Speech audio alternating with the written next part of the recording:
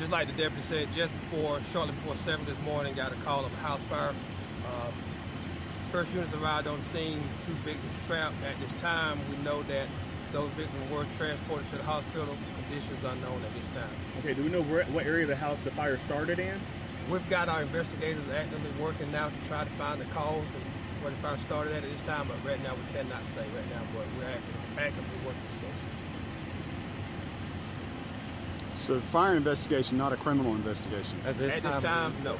Just we're actively working it as a, as a, as a fire.